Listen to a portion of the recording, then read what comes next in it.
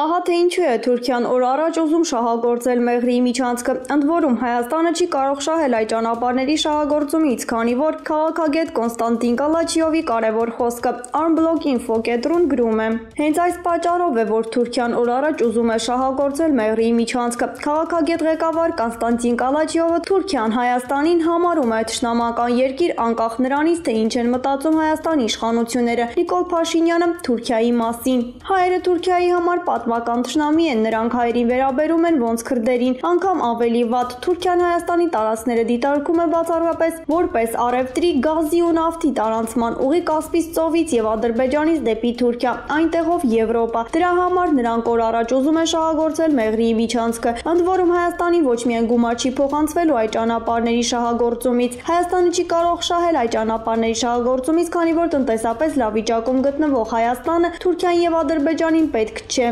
Քաղաքագետ քաղաքական վերլուծական խումբ կազմակերպության ղեկավար Կոնստանտին Կալաչիով Իրավիճակ է փոխվել։ Ամերիկյան երկու ղերթ Հայաստանին լրագիր ԿՏՄ գրում է. Անվտանգային հարցերում ԱՄՆ-ն Հայաստանում ակտիվ չի եղել, բայց հիմա իրավիճակը փոխվում է, հայտարարել է ԱՄՆ կոնգրեսական Ֆրենկ Փալոնը։ Նա ասել է, որ ԱՄՆ-ն Հայաստանում ակտիվ չի եղել, քանի որ Հայաստանում ռուսական ռազմաբազա կա, եւ Հայաստանն անդամակցում է հապկին, որի կազմում է նաեւ Ռուսաստանը։ Մենք մի քիչ ավելի մեծ դեր կարող ենք խաղալ ոչ միայն Հայաստանի, այլև Արցախի անվտանգության տիրույթում, եւ ես կարծում եմ, որ մտահոգիչ է, որ ռուս խաղաղապահներն Արցախում նույնպես վտանգված են ինչ որ առումով, որովհետև Ռուսաստանը կարող է որոշել, որ այլևս չի ցանկանում այնտեղ խաղաղապահ զորք ունենալ, ասել է Փալոնը։ Կոնգրեսականը Հայաստանի խորհուրդ է տալիս ավելի սերտ շփումներ ունենալ Եվրամիության ու ՆԱՏՕ-ի հետ։ Միգուցե անհրաժեշտություն այդ ուղությամբ նայել այս պահին Հայաստանի համար, որովհետև ռուսական անվտանգության պակտը կարծես թե Հայաստան չի ընդգրկում։ Երեք Երևանում ամուլի ասուլիսի ժամանակ ԱՄՆ ներկայացուցիչների պալատի ժողովրդավարական գործընկերության հանձնախմբի նախագահ Դեյվիդ Ֆրայս այս ԱՄՆ-ի եւ Հայաստանի միջև ռազմական համագործակցության մասին հարցին այսպես է պատասխանել.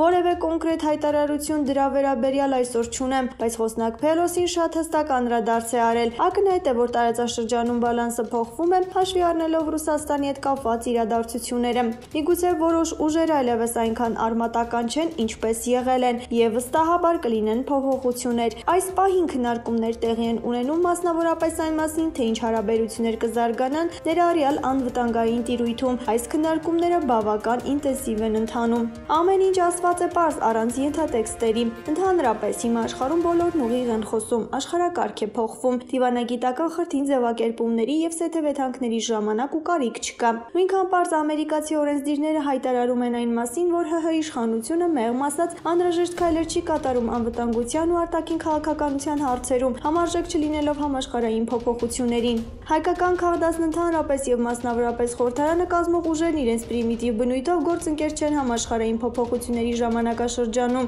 ինչն էլ Հայաստանը դարձնում է այդ փոփոխությունների օբյեկտն ու թիրախ։ Տարիներ առաջ ամերիկյան փորձագիտական հանրությունը, որի վերլուծական զեկույցները դրվում են ՊԵՏԴՊ-ի եւ Պենտագոնի մշակումներում, Հայաստանն արժևորել էր այս տեսանկյունից 2010-ական թվականների կեսին լիովին ռուսականացված երկիր։ ԵԱՏՄ բռնակցում բոլոր ենթակառուցվածքների վերջնական օտարում, ռուսական ուժային կառույցների բանակի ինտեգրում եւ այլն, ինչ տեխնոլոգիայով է դուրս բերվելու այդ իրավիճակից։ Դա իսկապես բարդ փորձագիտական մտքի համար հետաքրքիր խնդիր էր։ Միևնույն ժամանակ հայկական քաղդասի փորձագիտական շրջանակների ու ԶԼՄ-ների գերակշիռ մասի ռուսահպատակության ու ծայրահեղ դեգրադացվածության պայմաններում որևէ տեխնոլոգիա չէր կարող աշխատել, ինչն էլ անխուսափելի էր դարձնում հայկական կորուստները։ Դրանք ավելի են մեծանում հայկական գործոնի եւ իրավունքների փաթեթի գիտակցման բացակայության կամ դիտավորյալ անտեսելու պատճառով։ Իսկ աշխարհում շատ լավ գիտեն հայկական գործոնի իրական ուժը, մասնավորապես Մոսկվան ու Անկարան, եւ նրանց համատեղ ագրեսիայի ծավալն ուղիղ համեմատական է հայկական գործոնի ուժին։ Ռուսաստանը հեռանում է Հայաստանն ու Կովկասյան տարածաշրջանը թուրքերին հանձնելով հայկական գործոնի չեզոքացման, ըստ այդմ հայկական պետականության վերացման ռուս-թուրքական պլաններն անհնար կլինեին, եթե Հայաստանում լիներ սեփական գործոնի եւ իրավունքի գիտակցում։ Դրանք համաշխարհային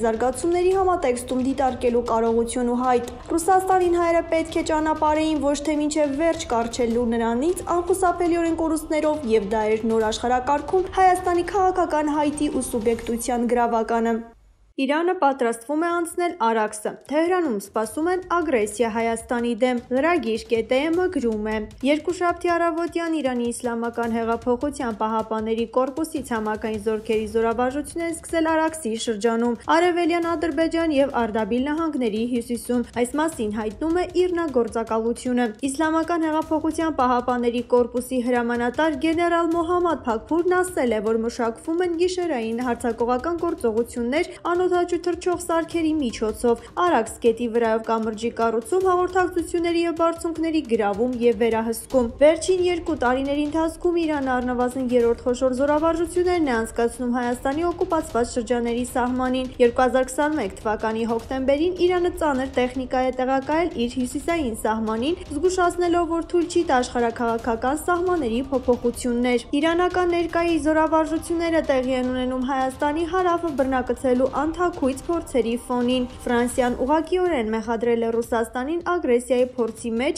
իսկ ԱՄՆ-ն ասել է, որ Ռուսաստանի գործողությունները նման չեն խաղաղության հաստատման ջանքերին։ Իրանական վարժանքների Արաքս գետով անցման ճանապարհների գրավման սցենարը վկայում է այն մասին, որ Իրանը պատրաստվում է ռազմական գործողությունների իր սահմանին։ Ավելին, Թեհրանի ռազմական միջամտությունը չի բացառվում, եթե երրորդ ուժերի կողմից փորձարվի վերահսկողության տակ առնել Հայաստանն Իրանը կապող ճանապարհ ճանապարհները։ Նիկոլ Փաշինյանն այսօրվա գրառումը նույնպես հնարավոր ռազմական ագրեսիայի անուղակի հաստատում է։ Մի քանի ամիս է շրջանառության մեջ է դրվել Հայաստանի կառավարության որոշումը Արևելյան Ադրբեջանի եւ Նախիջևանի միջև կապն ապահովելու համար հայ-ադրբեջանական սահմանի 3 անցակետ ստեղծելու մասին որոշման նախագիծը։ Հայաստանը սպասում է Ադրբեջանի դրական արձագանքին, գրել է Նիկոլ Փաշինյանը։ Բաքուն եւ Մոսկվան ուշադրության չեն արժանացրել Հայաստանի առաջարկները եւ միջանցքի ուժային բացման հավանական անվտանգությունն ու ժամկետները կախված են Իրանի եւ Արևմուտքի դիրքորոշումից։ Ռուսաստանի դեմ պատժամիջոցները խոչընդոտում են Թուրքիայում 20 միլիարդ դոլար արժողության պատոմակայանի կառուցմանը։ Slim KTM-ը գրում է.